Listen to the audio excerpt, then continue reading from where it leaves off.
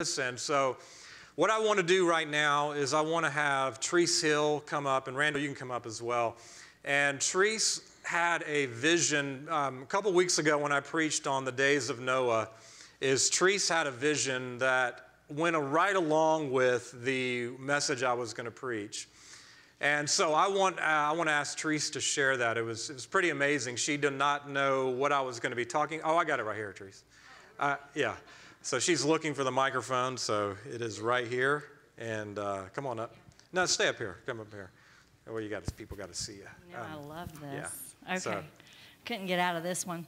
Um, so just to give you a little background before I start, the Lord always uses our family as a picture of what's going on in the church. Yay, us. Um, so, just to kind of give you a little history, Randall and I got married 31 years ago, so that's the beginning of the church, um, the bride and the groom starting the church. And then we had four children, and each child has been such a picture of what's going on in the church. And I'll just give you a quick glimpse. Dylan uh, was the plumb line child. Uh, he was born, and his name does mean uh, faithful and true to my beliefs. And Daniel was Daniel Elijah. You can guess what we were talking about during that time. Yes, we were talking about Jezebel. And so, and then it goes on. I can tell you the story if you want to sit down and talk. But so our children have always been a picture, and once the last one was born, I thought, oh, we're done. It's time for the Kesslers to take over. Um, but now, as you all know, three of our three of the four are getting married, and uh, yay! We will put a GoFundMe page up as soon as we finish. Um, just joking. Um, so, two Sundays ago during the praise and worship, it was just a beautiful time. The Lord just, you know, the first part was just how He was just loving on us and that He loves us. And it's just like, Jesus loves me, this I know. And I think the Lord just pressed upon me that we've got to know that Jesus loves us no matter what, because some storms are coming. And it's not always that good feely time, even like with a marriage, you know. But I know that He loves me. And I think that's where we got to come to a point where we know that Jesus loves us, even when some storms are coming. So the picture I had, now I'll get to the story, was um, of Randall and the no and like Noah's Ark. And then all of a sudden I heard the Lord say, Your three sons have taken a wife. Now, Quentin is our son. We've just taken him in as our son. but he was just saying, Your three sons have taken a wife and they're getting ready. And so do you. You need to get ready. And I felt like that's for the church. We need to get ready physically, spiritually, mentally. Think about like a wedding, what we're doing when we're getting ready. We're thinking about our finances. We're thinking about, you know, getting the, the couples are coming and they're going to get educa- educated on the Lord and, you know, they're going through deliverance. And there's so much that we do to get ready for a marriage. But I think the Lord is saying, you need to get ready. You need to build the ark, and the storm is coming. And then right after that, Larry sings out, A storm is coming. And I was like, wow, this is really cool. And then Bryan gets up and says the whole thing about Noah's Ark. And I'm like, wow. And the children are talking about Noah's Ark in the children's department. so I thought it was just neat how it just all came together. But I really feel like he's just saying, you need to know that I love you and you need to get ready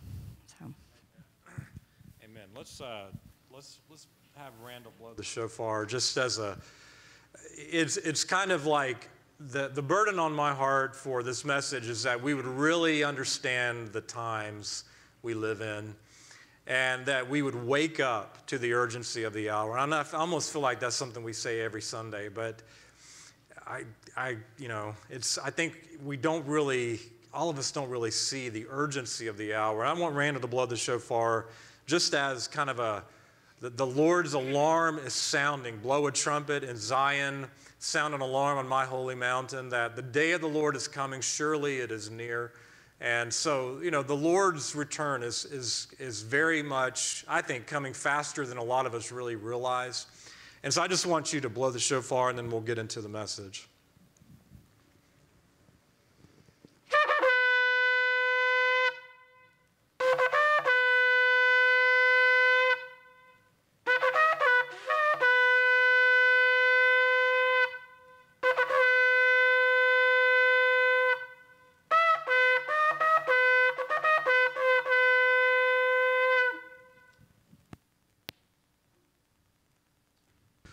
Amen. I want to I want to start with prayer. Just Lord, I want to ask you today Father that we would really get a sense of your heart today.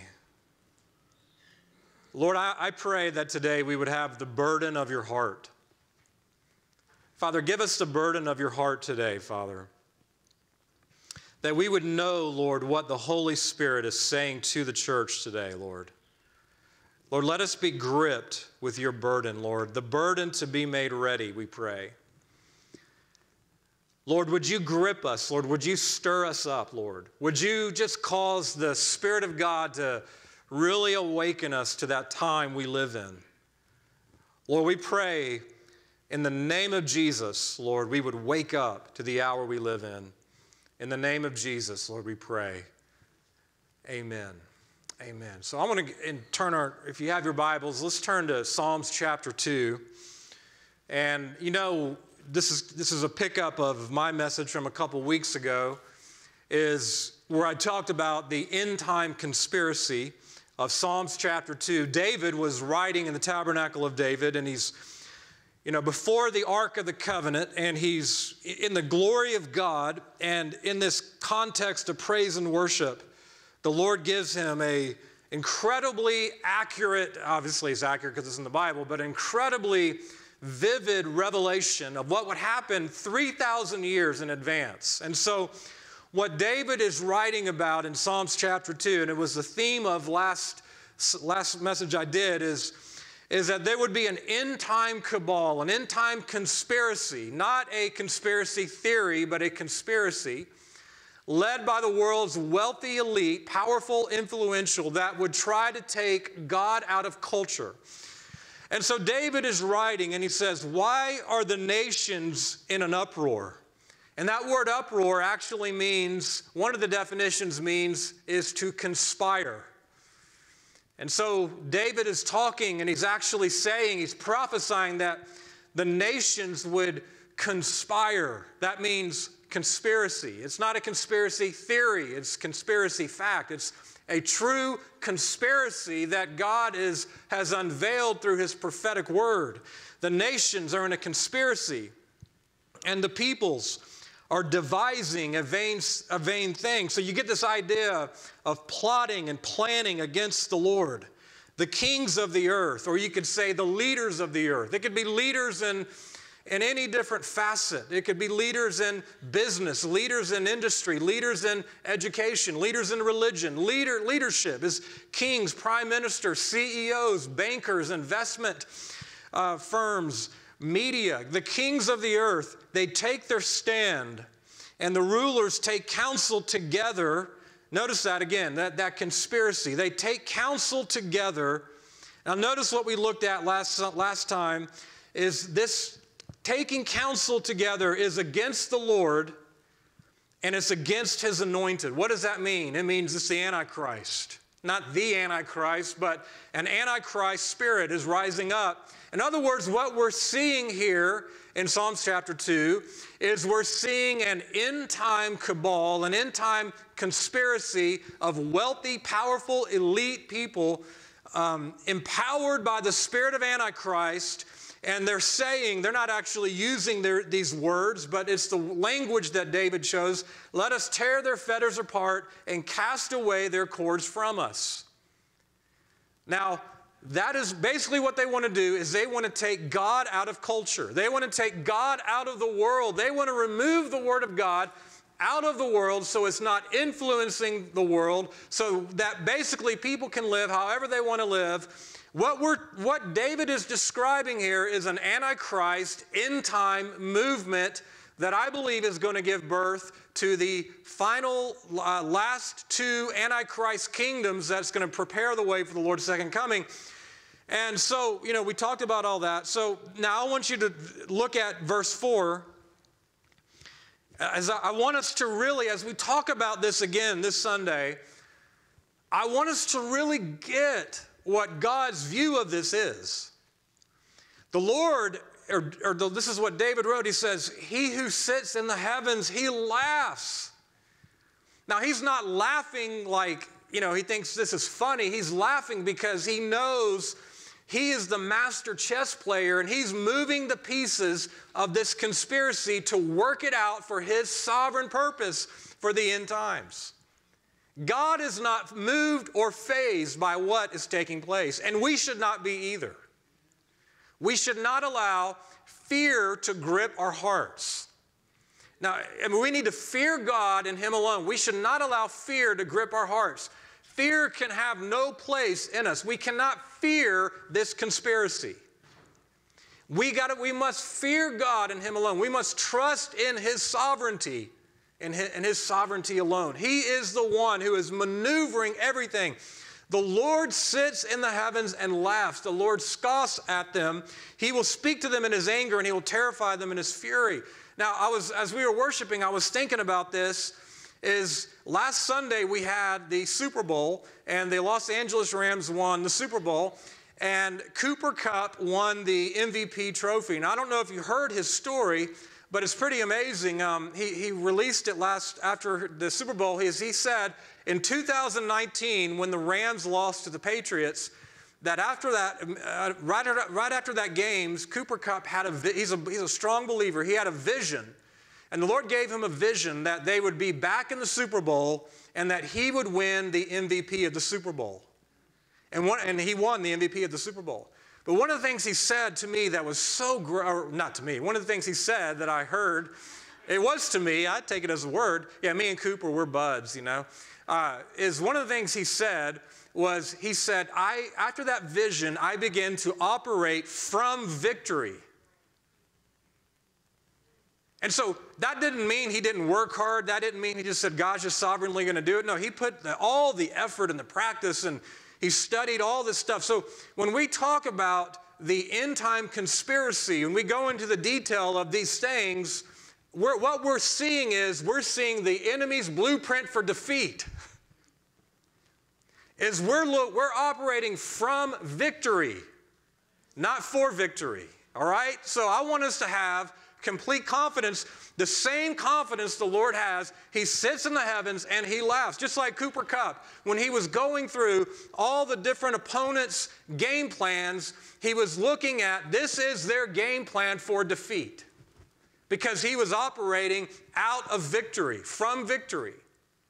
So, what we're going to talk about today as we talk about the rising up of this Antichrist kingdom is I don't want us in any way to have fear or a defeatist attitude or uh, like, oh no, this is terrible. I mean, it's not going to be great, but I mean, I want us to see though, we're operating from victory. This is the blueprint of the enemy's defeat.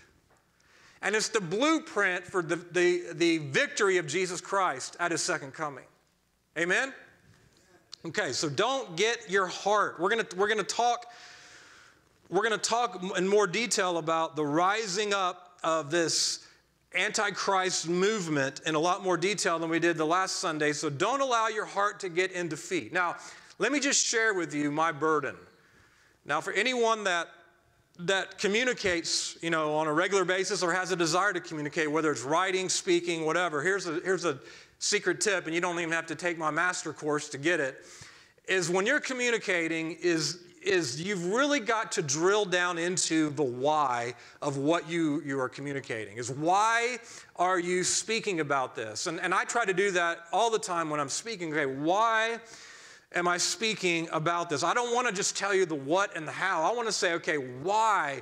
Why is it that I'm, I'm feeling this way? You know, I've, I've had this burden on me since the beginning of the year um, that, that this Antichrist kingdom is rising up. And so it's been my burden. And, you know, as I prepared this message, I was like, okay, Lord, why? What is my burden? What specifically is the burden I'm carrying in this? Because I don't want to just list out a bunch of information without really clarifying what the burden is that I have. And so I'm just going to share just real quick here. A few of the burdens I have is one of my burdens is, you know, and, and Dad mentioned it, I've mentioned it, is when we are waiting on the Lord at the beginning of the year to, as what is the Lord saying as we enter 2022. One of the things the Lord spoke to Dad and myself independently is the church really needs to understand the seventh kingdom.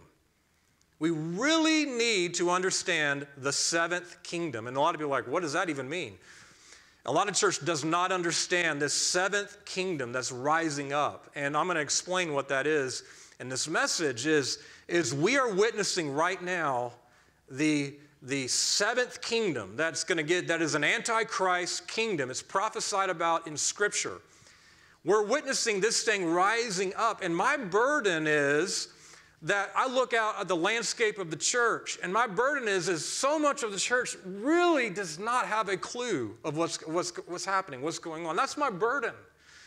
And I remember I was reading uh, the book on Bonhoeffer, and I saw where Bonhoeffer, you know, when you're reading, it's kind of the way I look at it. When you're reading back, when you're reading history, you can see very clearly, okay, here's where the, this thing is going. Here's where Hitler is going. How could you know, Bonhoeffer was one of the lone voices in, German, in Germany, especially in the German church. He was one of the lone voices that said, This is evil what's rising up. Bonhoeffer was one of the very few voices that was saying, This is evil what is rising up. Most of the German church, most of the German church looked at Hitler and looked at this and said, No, this is good for Germany. This is good for Germany. And I'm saying, okay, we're seeing this very same thing repeated in history. Is now this evil's rising up, and there's very few voices that are speaking out. This is evil. What's happening is evil, and so much of the evangelical church is so silent, just like the German church. I remember re- reading that book, thinking to myself, okay, you know, it's one of those things where you, you, you make this vow and you say, okay, I am going to, I resolve that I am going to be like Bonhoeffer. Okay, I am going to speak out. When I see evil rising up, I am going to speak out against it. I am not going to be like the German church, most of the German church, who was silent in that hour, who did not give voice to what was rising up. Most of the evangelical church is completely clueless about what's happening right now around the world. And I'm not going to be silent about that. I have to speak up. That is my burden. That is that the church really needs to recognize what is taking place. Listen, we are living at the end of the age. And I know, I think what's happened is throughout in the last, especially in the 60s, 70s, 80s, 90s, you know, over the last 20, 30, 40 years, is so many people in the prophetic, even, I don't even mean the gift of prophecy, I mean more in the, in the prophetic end time movement has said, no, this event means that Jesus is coming and 88 reasons Jesus is coming back. And it's almost like this boy who cried wolf syndrome, where it's been said so often, so often, so often, that when the real thing happens, the church is so dulled down, we don't even recognize what's happening. That's kind of the burden I'm coming from is this boy who cried wolf syndrome has, has so lulled the church to sleep where we don't even see, no, oh, this thing is unfolding right now, right before our very eyes. And so much of the church is silent. We need Bonhoeffers who will speak up boldly about the rising up of evil. And that's what I'm going to do today is I'm going to share what is happening from that perspective is because we've got to recognize the prophetic hour that we live in. Another burden I have, another burden I have is if in fact this seventh kingdom is rising up, and I'm going to explain again, and you may not understand exactly what I mean by that language, you will in this message, but if in fact this seventh kingdom is rising up, so many things about our lives could change overnight. And, I, and what Dad was speaking about last Sunday, the temptation to compromise the Word of God, the temptation to deny the name of Jesus Christ will be unlike anything Christians in the Western world have ever had to face. And that's why he, he talked last Sunday, preparing not to deny the name of Jesus Christ. Okay, these, I'm telling you, we are living when these things could just break out in a moment. We've got to be prepared that no matter the cost, no matter the price, we are not going to deny Jesus Christ. We are not going to compromise the Word of God. We're not going to say there's many ways to God. We're not going to agree with universalism that says that there are many ways to God. There is one way to God, and it's through Jesus Christ. We are going to stand strong on the written word of God and what has been delivered to us.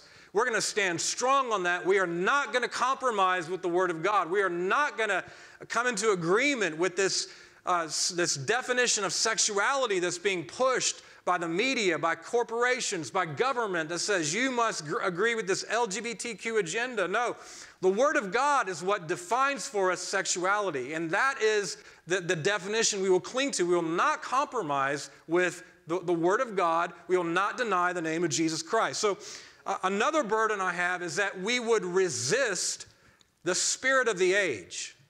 We've got to resist the spirit of the age. We cannot give into the spirit of the age based on fear, based on this desire that we want, that we have this fear, or we want to fit in with the culture, or we want, we don't want to be categorized, or we don't want to lose, you know, whatever, whatever would be, status, money, or whatever. We, we got to realize that the church, as we head closer to the end of the age, is going to be hated by the world. And so we've got to just say to our image and our desire to want to be liked and loved by people, we've got to go to the cross and let that die. I mean, if Jesus was hated, how much more will his disciples be? We've got to lose the fear of man and we've got to cling to to be that faithful witness of Jesus Christ, no matter the cost. Amen. The third burden I have is, and, and Treese expressed this, is if the Lord is indeed coming, I, I, listen, I believe this might sound 88 reasons why Jesus is coming in 1988 kind of ish, you know, like I'm making a prediction. I'm not making a prediction.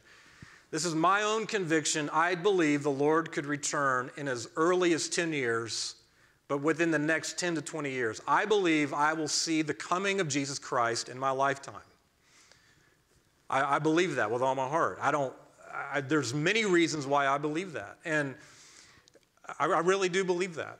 Um, and so, I mean, I could be wrong, you know, not one person who has believed that yet has been right. So I'm not making a prediction. I'm just looking at the trajectory of everything, and, and based on where we're at, based on the trends of where things are going around the world, based on the prophetic scriptures, based on the prophetic words that are coming from trusted prophetic voices. I'm looking at this and I'm seeing, okay, the Lord really could return within the next 10 to 20 years in my lifetime. Okay, I believe that. What grips me with a burden is most of the church are living as if that's not the case. You know, we, you know, Jesus talked about, he said, in the days of Noah, they will be eating and drinking, marrying and giving in marriage, buying and selling, building and planting. And I, th- I thought what Dad said last Sunday was so wise, was, and I, it's kind of a, a little um, bunny trail here, but I thought it was so wise what Dad said, is he said, listen, up until the last and I'm putting a little words into what Dad said, but I'm adding to it, is up until the last three and a half years before Jesus comes back, is the world will be buying and selling, marrying, giving in marriage. Basically, we don't need to make the mistake that was made during the Jesus People movement when everyone was talking about the end times and everyone was like, it's coming, Jesus is coming any moment, any moment.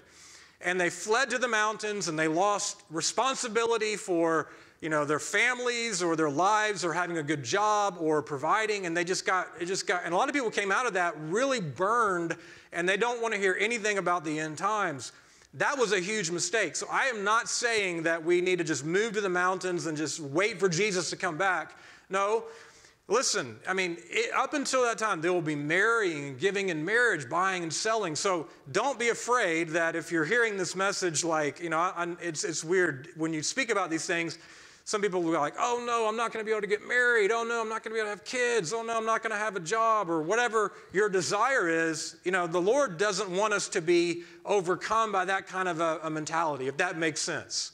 So it's possible to both live our lives in, in, in terms of the uh, being having a blessed family, having a blessed career, you know, all these things, but also understanding the times we live in. We need to do both.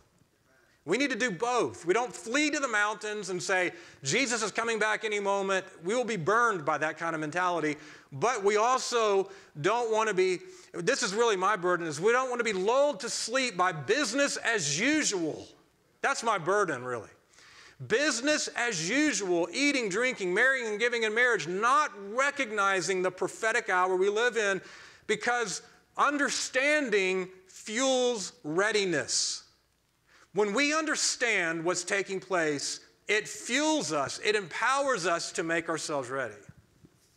And so I, that's one of the reasons I'm going to today just unfold, unpack. Okay, here's what's here's where we are, here's what's happening, here's what's taking place because I know the more we can understand, the more it will fuel readiness so that we will make ourselves ready. And then my fourth burden is that we would restrain the spirit of Antichrist in our nation. And I'm speaking right now from an American perspective, and I know we have people that listen to us online all over, all over the world. You need to seek the Lord for your own strategy, for your own nation. I say this from American perspective. Is I don't believe, even though, God, even though America is presently under God's judgment, we are presently under God's judgment. I don't believe God is just handing us over to be destroyed. I believe God has a prophetic destiny for this nation. He founded this nation to be a refuge from the Antichrist, a refuge uh, from religious persecution, a refuge, a, a sending center of the gospel. I believe that God is, if, if the American church, if the church in America will wake up, we can fulfill our prophetic destiny. I don't believe America is meant to align with the Antichrist or the Antichrist kingdom or all this stuff that's rising up. And so there needs to be, in the place of prayer and, and intercession, a restraining of this from coming in to our nation. The Lord is sovereignly going to give the enemy dominion in the seventh kingdom, and, and I will um, unpack this just a little bit, in the area of, of uh, Europe and the Middle East. But I don't. But the enemy wants more dominion than, the, than that area, so he's going to try to stretch into other areas, Canada, America. And so we've got to, in intercessory prayer, restrain this spirit from operating in our nation. That's part of the reason why we need to be there on, on Wednesday and Thursday in our prayer times, is we want to fight against this in prayer from coming into our nation. So my fourth burden is that we would restrain this in our nation. And we cannot just roll over and say, okay, come in and do whatever you want to do. We got to restrain that. So I'm not going to talk about all that. In this message, I'm really concerned about, about us understanding where we are, understanding what's taking place. We can't underestimate the value of understanding. Proverbs 4 7 says, In all of your getting, get understanding. We need understanding. We need understanding of prophecy. We need an understanding of how what is taking place. We need an understanding of where this is going. And so that is where we're going to come from in this message. So I got a, a, a slide here I want to show. And it, just to kind of give us an idea of this Psalms 2 movement that is taking place. So give me one second here. I'm going to project that. Give me a thumbs up, somebody, when you can see it. Okay? Anyone? No? All right. It's not there yet. Okay, we see it. All right. So, the Psalms 2 movement leads to the spirit of leads to the Antichrist. So, I talked about this psalm last Sunday, but the Psalms 2 movement that we just read, I believe it really, really took to a new level, or really began in a way we haven't seen in about 1945 after the Second World War. I won't go into the details about that. But where we are right now is where 2020 to through 2022, we're now in this phase where the elite, this cabal I've been talking about, want to bring in what is called the Great Reset. You need to be educated about the Great Reset. If you don't know what the Great Reset is, you must be educated about that. Okay? I've got, I've, I, am saying it again because a lot of times we just kind of roll over and think it's not relevant. This will potentially change everything about your life, okay? You need to learn about the Great Reset. I've got uh, in these notes, you can get them on radicalpursuit.net, you can get them in the YouTube link. At, at, the end of these notes, I've got some additional resources that will help you go into greater detail about the Great Reset. But you need to understand the Great Reset. Okay, what we're seeing right now in Canada, how many people have been watching what's, what's going on in Canada? That is because of the Great Reset. A lot of people just saying, oh, it's just these truckers and they don't want the vaccine. No, this thing is about the Great Reset. That is what is happening. That same thing is coming, is already in America, and you know, it, it is gonna, it, it's, it's, we're not that much further from Canada. We've got to understand the Great Reset, okay? So I'm gonna talk about the Great Reset just a little bit in this message, but um, I want to encourage you get educated about the Great Reset. It is not a conspiracy theory. This is not a conspiracy theory. Okay, this is published on the World Economic Forum's website. You can do the research yourself. This is not a conspiracy theory. They want to change uh, they want to sh- uh, change free market capitalism around the entire world into this new form of cap. It's not really capitalism, it's more like fascism. But they want to change the entire global economy. Just, just to make it real simple, do you see in Canada where if you don't agree with what the government's idea about something is, the government invokes the Emergency Act and says, we're going to freeze your bank account so that finances can't flow. That's the kind of control the Great Reset wants to have in your finances. I'm telling you, this is, this is real. This is not a conspiracy theory. Do the research. Do the research for yourself. Get educated about the Great Reset. I guess for me, I am burdened about this so much because I, being a student of end time prophecy is, to me, the Great Reset is leading the way to what I call the seventh kingdom, a word scripture calls the seventh kingdom. And I see it. I, I, see exactly what is happening in their blueprint and what they want to do. I see it leading to this seventh kingdom, this global government, a one world religion, a one world government, a one world economy. That is where they're moving towards and what they want to do. And it has penetrated into most every single Western world's government. They have penetrated deep into that, just like in Canada. Justin Trudeau has, has been groomed by the World Economic Forum. This is not a conspiracy theory, it is, is out in the open. They have said this openly.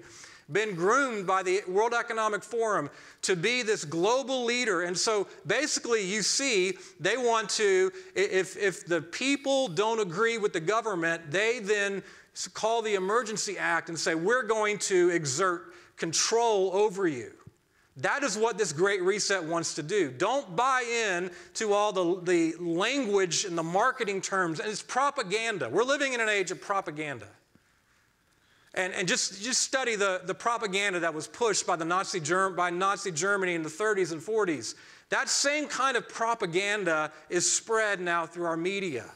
And listen, if, if you listen to the mainstream media, you are being brainwashed by propaganda that's coming from the government, the, the, the, joining together of the government and business for this great reset. You're being brainwashed by that. Be careful what you listen to. We are in an age of propaganda. Okay, you've got to know that. I'm saying that as a pastor that has a responsibility for the souls of the people that go here. I'm saying that don't listen to the media, the mainstream media. They're telling you it's basically propaganda. It's not true. It's twisted truth, it's spin to achieve their agenda. All right? So you've got to love the truth or you're going to be deceived. So, all right, we're talking about now the seventh kingdom. The seventh kingdom. And as I go through the seventh kingdom, I'm doing this out, out of obedience to what Dad and I both felt the Lord was saying as we entered into 2022 is we must understand the seventh kingdom. Now, if you would have done your homework and if you would have done your research last time when I said you need to learn about the seventh kingdom and done through the followed the links that I sent, if you would have done that, I wouldn't have to preach about this Sunday. But since you didn't do that, so how do you know? Well, I track your links. I, actually, I don't.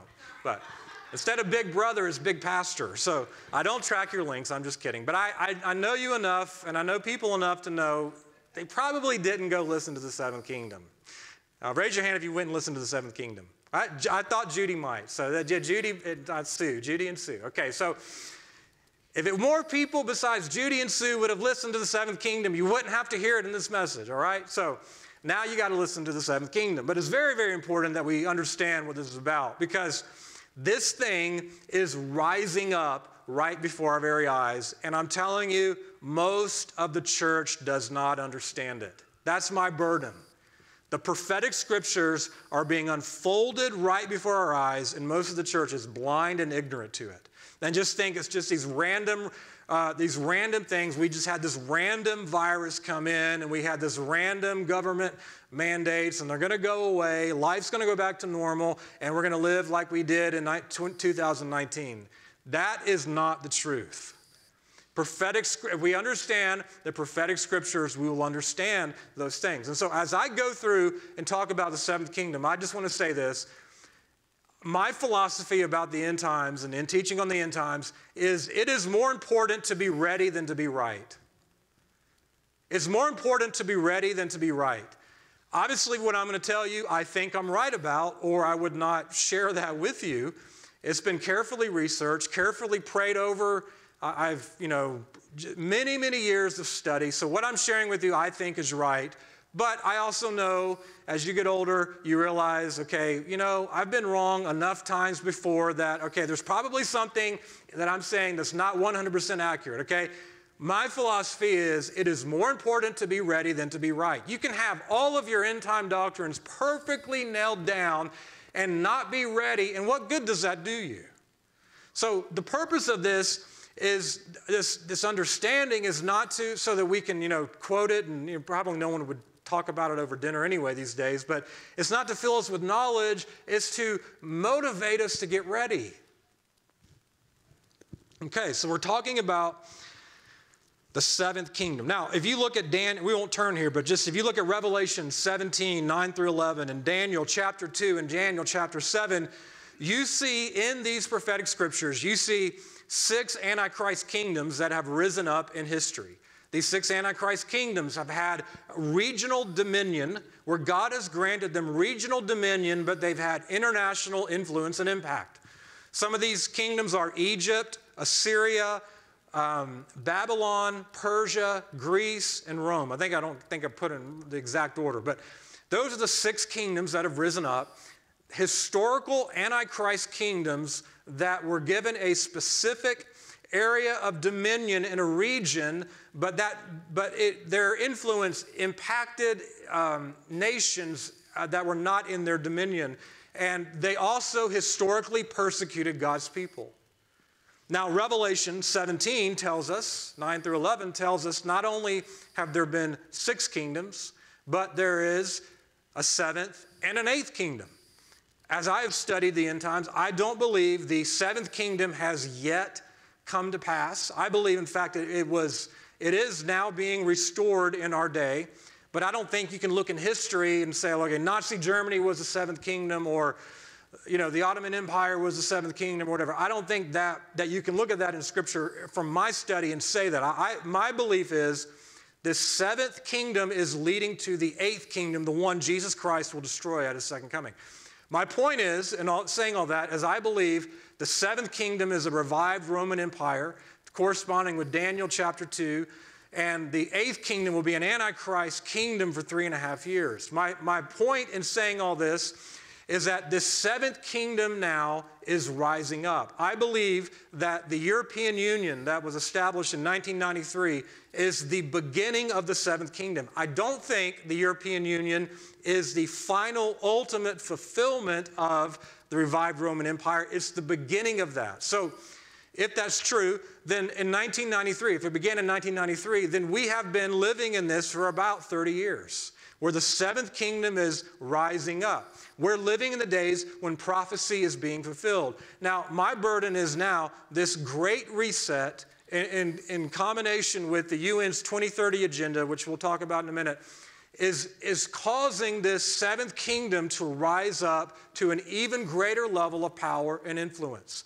Is, I believe has already been established, but it's now increasing. And so, if you look in those notes and see those links, you can go into a lot more information about that. So we won't we won't do that here now. But one of the things that I have seen so often as it comes to the end times is a lot of end time teachers is they lump together the seventh kingdom and the eighth kingdom, and so you can't really distinguish between two different kingdoms, and it creates a lot of confusion. A lot of people that talk about the Antichrist kingdom are only focusing on the eighth kingdom, the one that will be in place for three and a half years, but they don't talk about the one that will be in place for a few decades before Jesus comes back, before the eighth kingdom. And, and so that's why in this, these notes that I have been encouraging you to read, um, goes in and shows the distinction between the seventh and the eighth kingdom. Now, in this teaching, what I'm going to do is I'm going to just go through and just walk through some of these distinctions right now. Um, here, can you, you, st- you, guys still see that? Okay, you may not be able to read it. Um, I know Dad probably definitely can't read. No, Dad probably can read it. He's right there. But I just want to walk through these. These are in our notes as well, just to give you an understanding of the seventh kingdom. Now, again, this is basically my, what I did to, the, to, to kind of get this is I looked at, I believe the seventh kingdom is revealed in Revelation 17 and 18. I believe when you see Revelation 17 and 18, you're seeing the seventh, you're seeing one angle of the seventh kingdom right before it's destroyed. And so I've taken these from Revelation 17 and 18 and kind of mixed it in with what, what is the trends that I see are happening to kind of get some of these characteristics. But just to give you an understanding here, is the duration of the seventh kingdom is going to be a short time. I believe the seventh kingdom began in, in its infancy in 1993, so we're talking 30 years, it's already been in, in place. But I believe that, that this could be, you know, we, we, this could be in place for 40, 50 years, but it's a short duration. And the dominion of this kingdom is, is, is going to be in the area of Europe and the Middle East, the revived Roman Empire, but it's going to have global influence and impact. And so, what we need to understand is, is that God has, is going to give dominion to the seventh kingdom but the enemy would want to push that dominion into other places where God has not given him dominion. That's where I'm speaking to Americans. That's where we need an intercessory prayer to resist this, to restrain it, and say, not in our country is this going to come in. Okay, and so the beginning of this, I said it began in 1993. The characteristics, so the characteristics of this kingdom is, is a guise, it's a mask, it's masked, but underneath it's evil, but it's a guise of tolerance, peace, unity, compassion, equity, and justice. And it's, it's, it's this guise, but underneath it's attempted to deceive and manipulate the nations. In fact, when John was talking about the great harlot in Revelation 18, he says, All the nations were deceived by your sorcery. All the nations were deceived by your witchcraft. So, in other words, I would rephrase that and say, All the nations were deceived by your propaganda. That's really what it means. All the nations were deceived by your propaganda. Just like Nazi Germany was deceived by the, by the, by the propaganda of the Nazi regime, the nations are going to be deceived by the propaganda of this seventh kingdom. Make sure you understand that because it's going to sound really great. And you're going to almost feel like, I feel like a bad person for looking at that and saying it's evil. How could it be evil to have equity? How could it be evil to have justice? How could it be evil to see that we want to take care of the world and we want to do all these great things? How can that be evil? It's propaganda.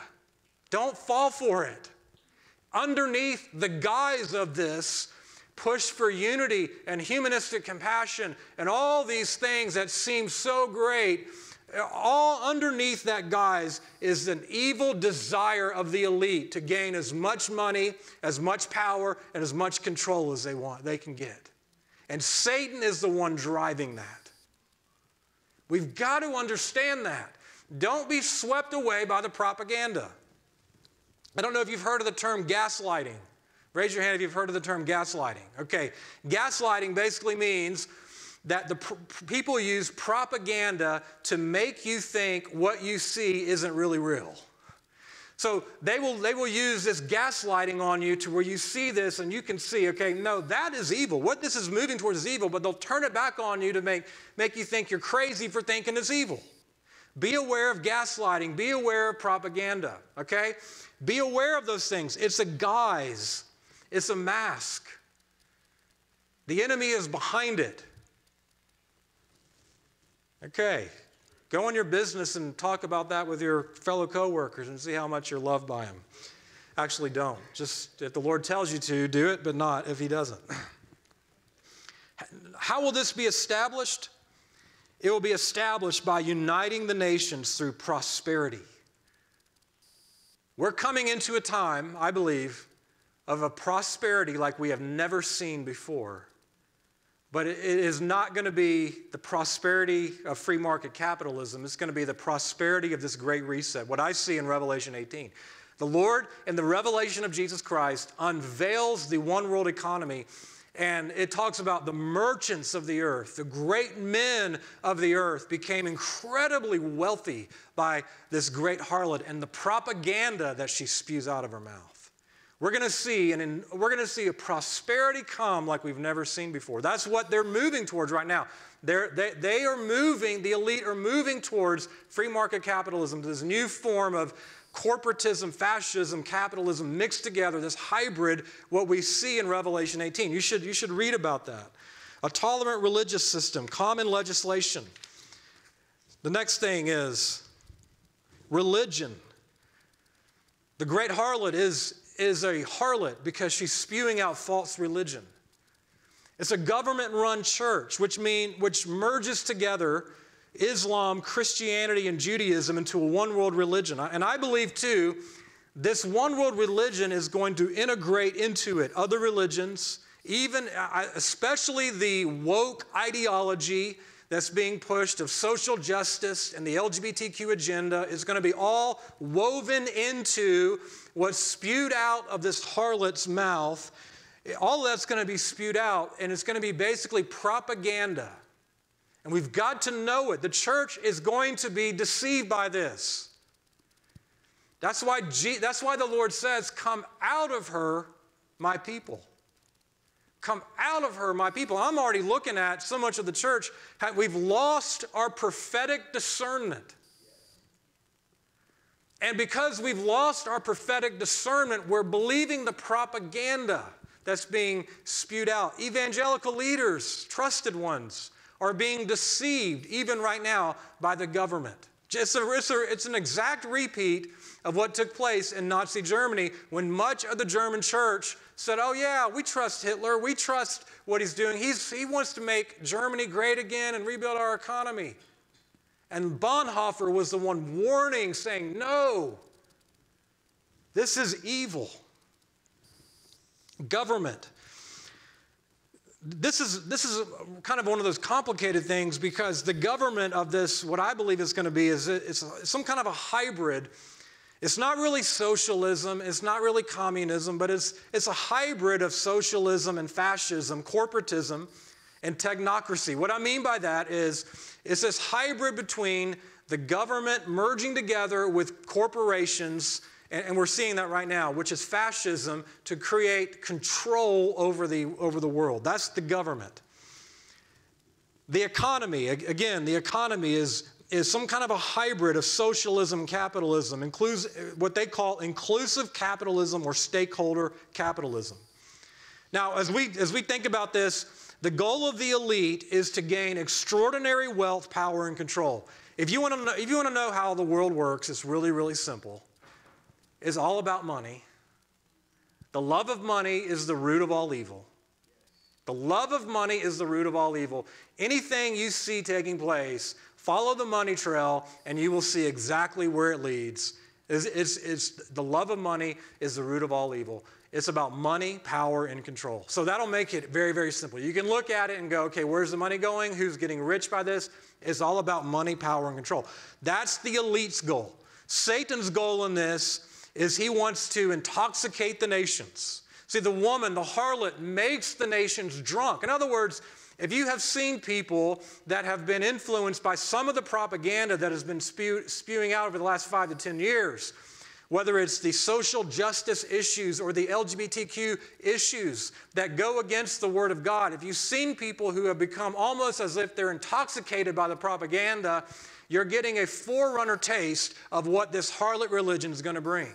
It is, it is going to intoxicate the nations, and Satan is going to use it to try to defile the bride of Christ and keep her from being made ready. And Satan is going to use it to try to prepare the world to worship the Antichrist. I want to encourage you read Revelation 17 and 18. Just ask the Lord for understanding. Ask the Lord for understanding. Is the, the, the, the, nations are going to gather together and they're going to unite themselves into a one world economy, one world religion, and one world government. Okay, that's the, that is the seventh kingdom. Okay, everyone raise your hand if you're feeling encouraged right now. Just kidding. Okay, we got to talk about it though. Okay, now we want to talk about the Great Reset. So back to our chart is the set, this is moving towards the seventh kingdom. We got to talk about the Great Reset. Never in my life did I think I would go into ministry and one day I would talk about the Great Reset. okay? But it's very important. And so this great reset is being pioneered by the World Economic Forum under the leadership of Klaus Schwab. And this, this great reset is basically the financial, economic part of this, this one world government that corresponds with the UN's 2030 agenda for global government by 2030. So remember here, remember here, uh, back in the beginning of 2020, before the COVID, before coronavirus hit, in 2020, I preached the message about the decade of decades. The decade of decades, and everyone's like, wow, okay, that was before COVID hit. That wasn't like, like I had an encounter with the Lord and all this stuff. I, I, I did the research of what their, their agenda is, along with some other prophetic stuff, and I'm like, this is, they're pushing for this over this next decade. What happens? Coronavirus hits, all the mandates hit, all the tyranny hits. See, I'm telling you, this stuff is really You've got to understand this great reset to make sense of what's taking place. Otherwise, I'm looking at people and they're, they're just thinking these things are all random, they're, they're these random occurrences or whatever. No, these are being driven by the Great Reset. So basically, they want to take the government and businesses and merge them together, and they want total control. Listen, they want total control over every single thing about your life, down to how you spend your money down to your religion, down to what you believe, down to where you live. They want you to, uh, they, they are, they're pushing and saying you will own nothing and be happy. Everything you do, this is what they want to do. Everything that you do, you will rent it and you will use it as a service and you will own nothing and you'll be happy about it. And they even want to take away your meat. That's where I draw the line and I say, that ain't happening. I mean, I think we all need to go celebrate by having a burger or steak after, after this message, but just to shove it into their face. You're not taking my meat. I'd love to see them do that down in Dallas or Tennessee or wherever. Know, that ain't going to work. They ain't going to fly if you try to take our meat. But that's where they're trying to push. I mean, total control over education, total control over government, total control over media, uh, over every single aspect of your life. Healthcare. That is their plan. It is, they want to own all the world's resources, total control. That's what they want. They, they've laid it right out there. Okay, you feeling encouraged? I mentioned this. I mentioned this. We should laugh about it. God is in control. God is in control. God looks at this and laughs. But we've got to understand it. The, the, the World Economic Forum, is part of this great reset, wants to or not, not wants to, they already have gone, I mean, it's well, well, I mean, all the banks and all the corporations are pushing what is called the ESG social credit system. So you know there's a you know there's a credit score for when you want to get a loan or when you when you want to get a car, and they basically look at your finances and go, okay, how, how well can they pay back this money? How well can they pay back this loan? Um, will they be able to do that? They look at your financial situation to find out can can you pay this back? Now, what this is changing to is a social credit system, an ESG credit score. E stands for environmental, is they want to push this idea that, the, that in 10 years, if we don't do something, climate change is going to destroy the world as we know it. The social aspect of it, social justice, is, is they want to push on their woke ideology of you've got to you've got to view gender and equity all this way. You've got to define sexuality the way culture defines sexuality. And if you go against it, then you are you are basically a threat to society. And then, governance is, is, is how your boards are made up. But a lot of that to me can be really boring, but what really gets me as a pastor is this S part, this, this social part. Because what I see that could very well take place is the, the world, the, the, the one, this one world economy has total control over your life. So now, if you pre, if a pastor like me preaches on the biblical definition of sexuality or preaches that Jesus Christ is the way, the truth, and the life, their artificial intelligence, like they can track it on YouTube, and all this artificial intelligence can then flag me in my social credit score, and then therefore I wouldn't be able to get my Social Security or my IRA or my benefits, or I would be flagged for this or that. See, they want to create total control over your life. Does that make sense? Have you ever thought about why almost overnight every single company went woke? I mean, almost overnight, pushing social justice issues. Even Hallmark pushing, you know, the, the LGBTQ agenda in their movies. I mean, it's sad. I mean, we, it's probably sad we even watch Hallmark in the first place. I mean, it's the same plot every single time, but it's like, I mean, you know, like five minutes into it, okay, he's going to marry her, and uh, you know, and you know, 942, this tension's going to rise up, and oh no, they look like they're going to break up, but they're going to get back together. I don't even know why we watch it in, in the first place. But now they're, na- I mean, now it's really sad. It's something you could watch with your your daughter, but now you got to be careful because now they're they're pushing the LGBTQ agenda. Do you ever wonder why that's happening? Do you ever wonder why? All these corporations, the NBA, the NFL, all of a sudden went woke. It wasn't random. It didn't just happen. It's because of this ESG credit score. The banks and the banks and the financial institutions and the investment firms like BlackRock are basically telling these companies is that you've got to get your ES, you got to get the S part of your social credit score up or you're not going to get money from us. It's all about money. It's not just a random thing that just happened one night where they're like, okay, you know, this is going to be good for our business, like the NBA. This is going to be good for our business, so we're going to get all woke. It was actually bad for their business. But because, in terms of the, what people want, is because what, what's happening is the, the, these banks and institutions are saying if you want money from us, you've got to get this S part of your score up. What I'm saying is, a lot of us don't even know what, why that's happening. This is why. That's what I'm saying. The Great Reset has penetrated deeply into all of the most of the world already. Okay? So it's leading somewhere. It's leading to Revelation 17 and Revelation 18. Okay. Anyone want to leave yet? So, have you been following, I mean, what's been taking place in Canada? I know, I know some people have given up so much on the media that they don't even watch what's taking place in Canada, but have you been following what's taking place in Canada?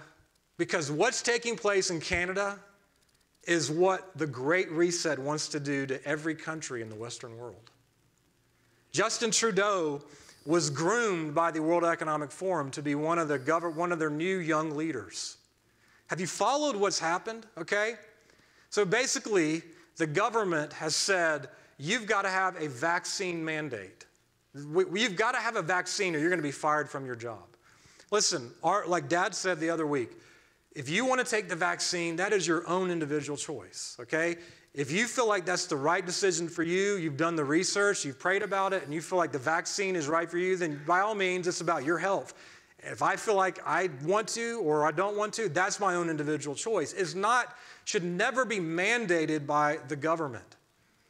And so, and so this should never be an issue of, of division in the church. It's really sad, too, that this, this whole vaccine thing has become an issue of division in the church. It should not be an issue of division in the church. It is an individual health decision that you need to make before the Lord in prayer of what's best for you and your family, okay?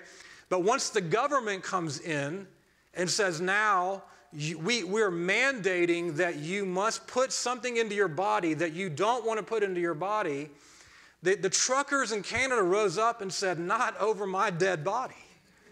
I am not putting, and I, I just I think is awesome. I am not putting this vaccine into my body. I don't want to do it. If, if I want to do it, I will, but I'm not going to do it because you're telling me to do it.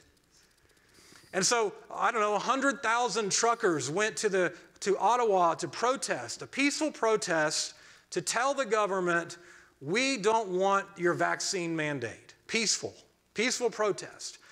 Trudeau, you change what, what needs, you change this policy. It was a peaceful protest. Well, what happened was Trudeau started calling them all kinds of names and basically said, You're a domestic terrorist. These 100,000 truckers are domestic terrorists. We are going to freeze your bank accounts. The money that was donated through GoFundMe, we are saying we're putting a freeze on that. You cannot get this money. We're putting a freeze on your bank account. We're going to track down all of your business and we're going to we're going to we're going to put you in jail and we're going to break up this protest. Basically overnight, Canada has shifted from a democracy to a totalitarian regime overnight. All of that is driven by the Great Reset. All of it is driven by the Great Reset. And, and don't think that just because Canada's up north that we're exempt from it. No, it's already here. It's already here. It's happening. Have you ever thought about, okay, why was Australia's response and Canada's response and Europe's response and America's response to this crisis, why was it all basically the same thing for the most part? It's not a conspiracy theory. It's being driven by a playbook, by a blueprint.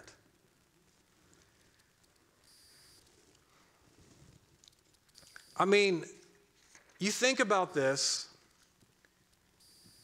is if governments can have that kind of control of your money, where at the push of a button, if you, if you do something that the government disagrees with, where you say, I don't want to put this into my body, I don't believe in this social justice issue. I believe Jesus Christ is the way, the truth, and the life, and that no man comes to the Father but through him.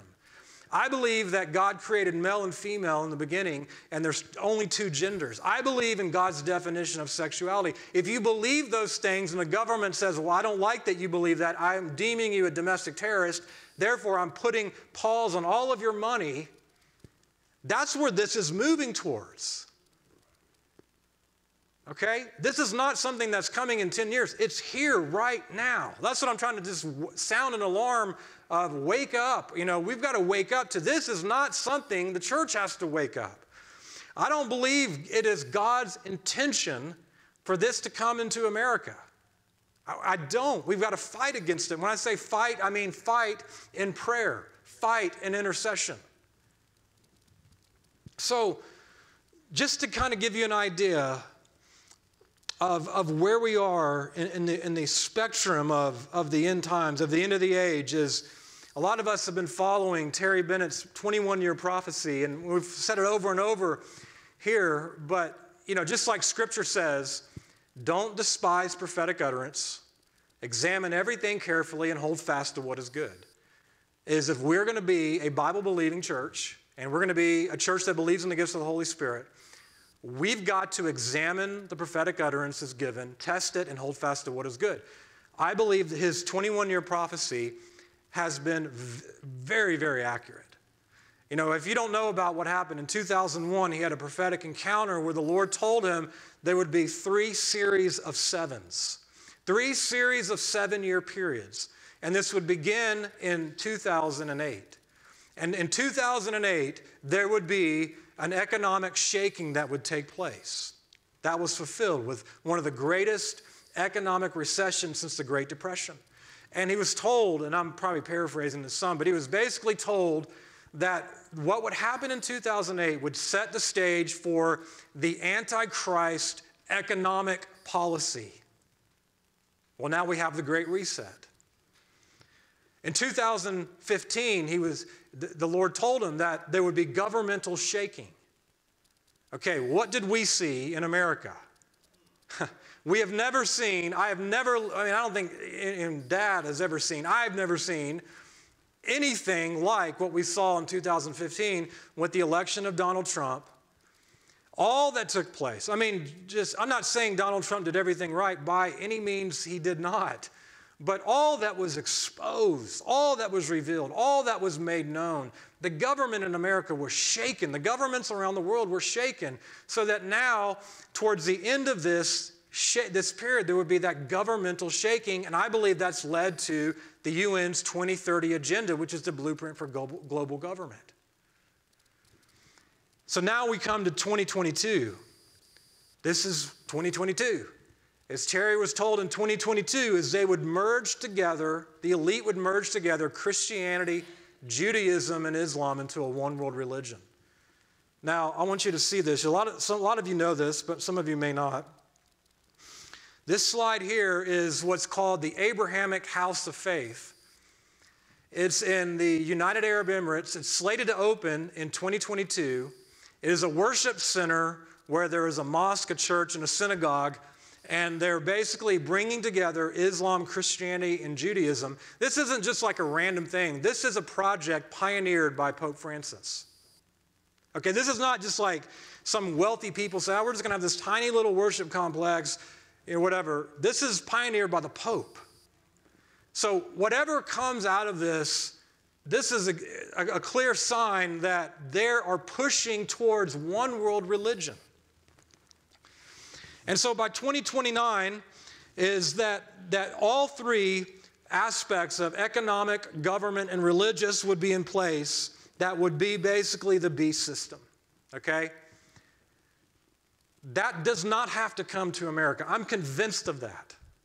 I, I am convinced in the Lord this does not have to come to America. Is we need through prayer to fight against this that's trying to come into our nation. See, you, can kind of see how all this is taking place. You can kind of see where this is going. In Revelation 18:23, John was shown in this revelation of the great harlot, John was shown that, that the great merchants of the earth, that would be the bankers, that would be the CEOs, that would be business leaders, that would be those in big pharma, that would be those in the media, those in the pol- political arena, those in government, presidents, prime ministers, that they they became incredibly wealthy from the sensuality that was promoted by this one world religion. And I think when you understand the ESG credits, uh, credit score, is you can see how this propaganda of this great harlot will be promoted to try to control the world and make these merchants wealthy. That's, that's where you can see this thing is moving. And so, if you think about this, in, in the church of Thyatira, when the Lord confronted the church of Thyatira, and he said, You tolerate Jezebel. Now, what was Jezebel doing? Jezebel was coming in and she was teaching the church is it's okay for you to make sacrifice to idols. It's okay for you to indulge in immorality. Well, what was happening in Thyatira is they had these things called trade guilds where if you wanted to be successful in business, you had to go to these trade guilds, and in these trade guilds, you would go there and you would worship a false god, and, and you had to compromise in, in, in terms of immorality and stuff like that.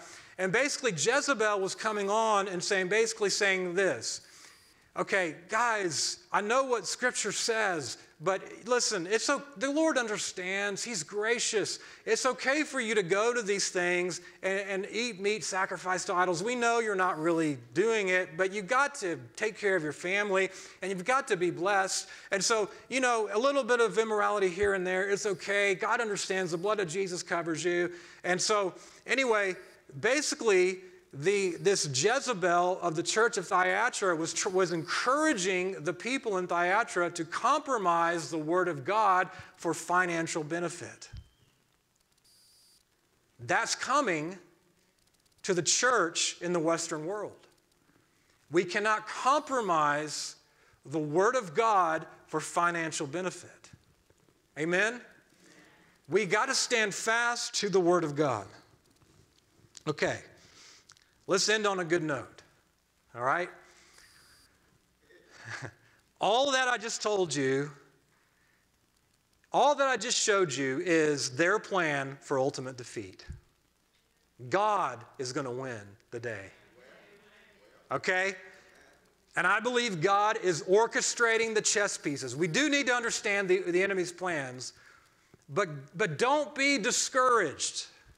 Okay? I know you can look out and see all this stuff that's taking place and feel as if you, you know, defeat or fear or discouraged or hopeless. I won't get married or I won't have kids or I won't, you know, have a good job or whatever um, I won't be blessed and have a good life or whatever. You know, all this, the, the defeatist kind of stuff can come on you. And so the Lord is like, no, I am in control. I sit in the heavens and laughs. Yes, they have a plan, but they don't, their plan will not, will not come to fruition unless I allow whatever they want to do. The Lord is going to work out everything for our good and His glory for those who love Him. So don't be discouraged. However, use it to make yourselves ready. Use it to say, This is not going to come on my watch. I'm going to stand in the place of prayer and intercession, and I am going to wage war against this plan in intercession. It's not coming here. It's not going to come here. We're going to be a voice that warns and, and tells the church, tells our friends, hey, listen, this stuff's coming. Wake up. The church needs to wake up. We need to wake up. We don't need to fear, we don't need to fear this. We don't need to fear anyone but God and God alone. That's why the Lord has had us do these prophetic messages about fear God and no one else. Fear God and no one else. God sits in the heavens and laughs. God is showing us what is going to take place so that we can operate from victory instead of for victory. We can rest in God's sovereign control. Amen. So we're going to end the online. Let me actually pray real quick. I want to pray for us before we end the online. Is Father, I just pray right now, Lord, my prayer is no one would have fear. My, prayer, my prayer is no one would be discouraged. Lord, my prayer is we would rise up and say, We were born for this hour. We were born for this hour. We were meant, those who know their God will display strength and take action. We were born for this very moment.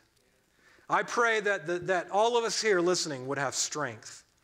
I pray that all of us here would, would uh, display strength and take action. Lord, that we would display strength and take action, that we would not allow this stuff to take place in our place of influence. Lord, that whatever we can do, we would. And I pray we would have strength. I pray we would take action. Lord, my greatest prayer is that we would wake up to the urgency of the hour. Lord, let us not be asleep right now in this critical hour of history, but Lord, most important, is we would make ourselves ready. For the day of the Lord is coming. Surely it is at hand. That we would be ready for the bridegroom when he comes. In the name of Jesus, we pray, Lord. Amen. Amen. We'll end the online service here. God bless you. All right. Um, so I want to end, I want to show a video just real quick. It's like a six minute video.